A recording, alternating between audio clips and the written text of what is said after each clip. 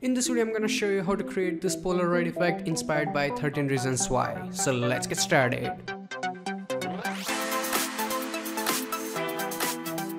Hey what's up guys Dhruval here and as you can see this is the final output. Now this photo effect is inspired by 13 reasons why a web series produced by Netflix. I saw the promotional material and I was like wow that's pretty awesome we can create something like that in Photoshop and now we have a tutorial. So to create it, first of all, let's look at the original photo. This is the photo. You can go to file, open any photo you like. Now, of course, we have to remove the background and it's actually pretty easy on this photo. Just select your quick selection tool, right click, quick selection and make selection of the model. Once selection is ready, go and click on your layer mask icon. So the background is gone and we only have the model. Now we will add the background. And to do that, click on this little icon here and then select gradient. In the gradient, click here and select your standard black and white gradient. Now we actually need three color, not only black and white, but one in the middle as well. So when you see this hand sign, do a click and now you have three options for the colors. Now click on the first one here, go to its color and in the color, actually I picked up this color from the actual photo from which I'm creating the effect. So this one, the code is BBC7D3. After that hit OK, then click on the middle one and go to its color. It's 758DA5. Then hit OK and now let's look at the last one. So do a click and go to color 0F233C. So it's basically three different colors of blue. Hit OK, hit OK. Now in the style we actually need radial. So the color is circular and then after the, in the scale go and make it 177 so the transition is really soft and hit OK. So background is ready. Now let's put it under the model. Now let's see how we can fix the hair and edges because they don't look that great. And to do that, first of all, activate your layer 0. And before we fix that, I'm gonna reposition the model. And for that, simply press Ctrl T and then rotate it a little bit. So first of all, photo is straight. Then I'm gonna bring him down a little bit so we don't have any empty area at the bottom. I think this is pretty good confirm it now let's fix the hair and edges. First of all uh, click on your layer mask here then right click and select and mask. Now uh, in the transparency make sure it's 100% so we can see the background completely. Now for the edges just simply make it a bit more smooth. And then shift it a little bit on the minus side so the dark portions are gone. That's good. Hit ok now we will fix the hair. For that again right click and select and mask. And this time make sure the second tool is active, refine edge and just simply paint on the edge of hair and it should do the job. Hit OK and bam. Now we have to do some color correction on the model but before we do that let's finish up the background. Now activate your gradient fill 1 then click on your adjustment layers and select a solid color. And in the color make sure it's completely black and hit ok. After that go to your filter noise and select add noise. Uh, and if it says rasterize just simply rasterize it. Then in the amount uh, it depends how much noise do you want. You can look at the original photo and see how much it has. And here make sure it's uniform and monochromatic and hit ok after that, go to your blend mode here and then change it to screen and you have this really nice noisy background that looks a bit retro. Now let's look at the adjustment on the model. For that, activate your layer 0 and first of all, let's rename it to, you know, model. Now go to your adjustment layer and first of all select curves. The original photo is a little bit darker, so I'm gonna make it bright and after that turn on my clipping mask so only the model gets bright and not the background close it. Now I'm gonna create another adjustment layer and this time I'm gonna select channel mixer because like the skin tone on the model it doesn't match well with the background. So to fix it first of all make sure you are in red channel and in the red go and make it 73 then into green go and make it 14 and then 10 in the blues. After that go to your blue channel. Here in the red add a little bit of it so plus 5 green is 0 blue is 100 and everything is default. Then go and close it now let's add the Polaroid photo. For that, go to File and then select Place Embedded and select this Polaroid photo, place it, confirm it. Now we only need the photo, not the other nonsense around it. For that, right click here and select your rectangular marquee tool. And first of all, make selection of the outside edge like this. And to modify your selection, you can simply right click and select transform selection and then you can modify it however you like. So I think this is pretty alright. After that, we want to delete the outside area. And for that, go to your select and inverse. So outside area is selected, but right now it will not allow me to delete it, you see? So to do that, right click here and then select rasterize your layer. So you can delete it, delete, gone. And to remove the selection, go to select and deselect. Now do the same thing on the inside. Make selection of the black portion The Polaroid is ready. Now press Ctrl T, hold your shift key and make it a bit smaller and place it exactly where you want it to be.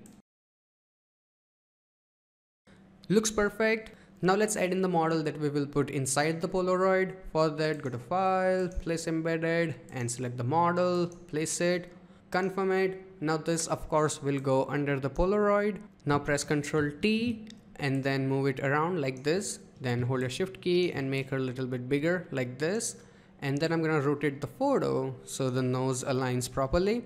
Now of course we cannot see what's going on behind. So for that you can reduce the opacity so we have better idea. It can be a little confusing I know but keep the opacity like 30 40% and then try to align eye of model with the eye of uh, the boy behind it. So I'm gonna go and make it a little bit bigger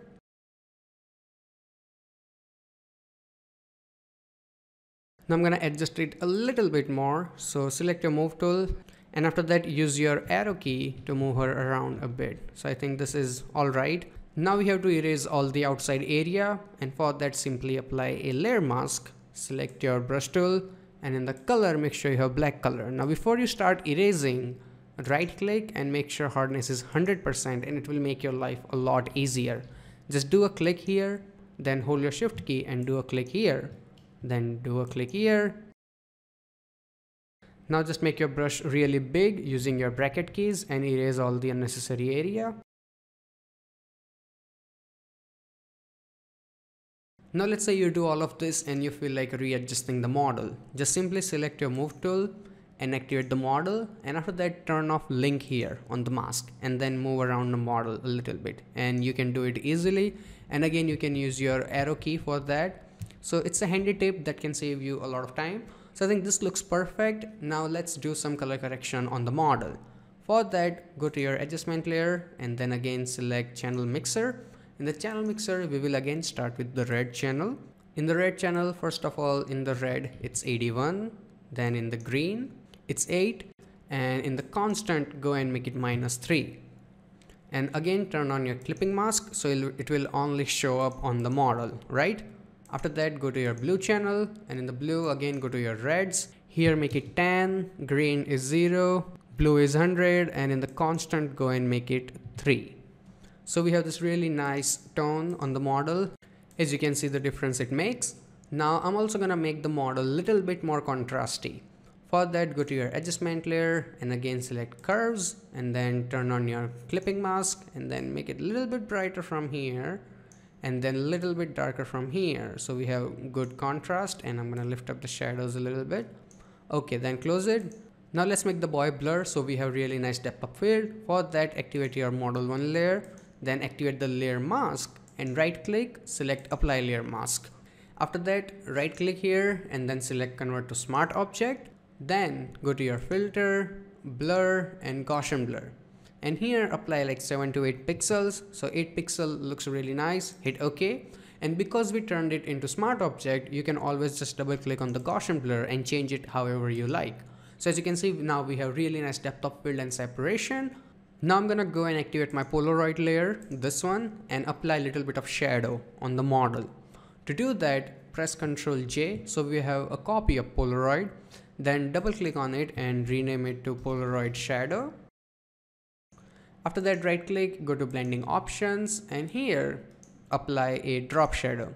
And a drop shadow go and put it something like this. And then I'm gonna reduce the distance a little bit. This looks nice, hit OK. Now I don't want shadow on the outside, I only want on the inside. So just simply get your eraser tool and erase the rest of area so we don't have any you know outside shadows and then take this layer and put it under your Polaroid. So we only and only have oops so we only and only have shadow on the edge. Shadow is done. Now i'm gonna add some highlights on the photo. And to do that create new blank layer and rename it photo highlight. Take this layer and put it under your polaroid shadow. Then right click here and then select your polygon lasso tool do a click here do a click here and then do a click here like this and do a double click to finish the selection. After that right click on the paint bucket tool and make sure color here is white and fill it. Then go to select and deselect. Now I'm gonna add in some blur. And for that go to filter blur and Gaussian blur. Add a little bit of blur maybe something like this. If it goes outside don't worry about it. Just add a little bit of blur. So I think this looks nice hit ok then grab your eraser tool and erase whatever is outside. Then go to your blending option and change it to soft light. So we have this really nice highlight on the photo makes it look a lot more realistic and then change the opacity to somewhere around like 70% so it blends in better. And actually I'm gonna go to drop shadow and also reduce its opacity to like 40% so it's not too harsh. Hit ok everything looking good? Now for the final step let's add in the paper clip for that go to file place embedded. Now original photo is this one but it had a lot of polaroid by default and line was curvy. I had to straighten it out. There was a lot of work. So I did it for you guys and now you can simply download it from my DeviantArt page. You are welcome. So place it, confirm it. Now of course the clip will go on top of the Polaroid like this. Then select your move tool and adjust it here and then press Ctrl T and now make it big enough so the rope goes outside and the clip stays in the middle like this.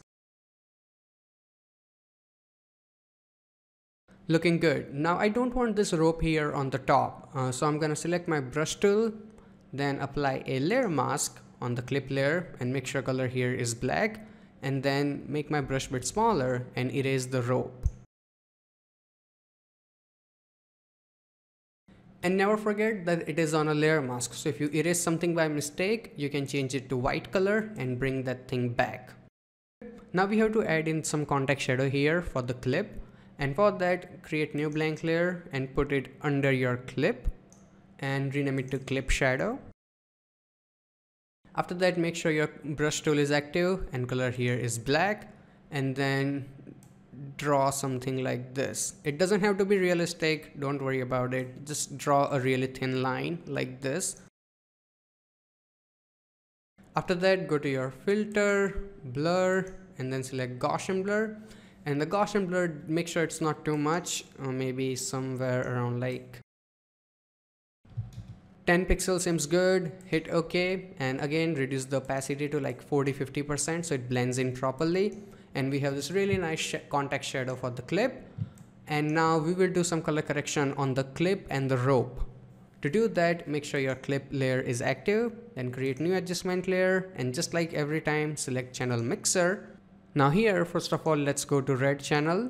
And in the red, I'm gonna go and make it 95, then green is zero. In the blue, I'm gonna make it minus five and the constant is also minus five. And turn on your clipping mask so it will only show up on the clip. Then go to your blue channel. First of all, in the red, go and make it 14. Green is zero, make the blue 92. And in the constant, go and make it 7 then go and close it and you can see the difference for yourself and that's it. And this is exactly how I created the Polaroid effect from 13 reasons why you can also add in some text to make it look more professional and that's pretty much it. So I really hope that you guys learned something from this video. And if you did hit that like button. And if you have any kind of questions or suggestions feel free to ask me in comment section below. Till then goodbye take care and have some fun with photoshop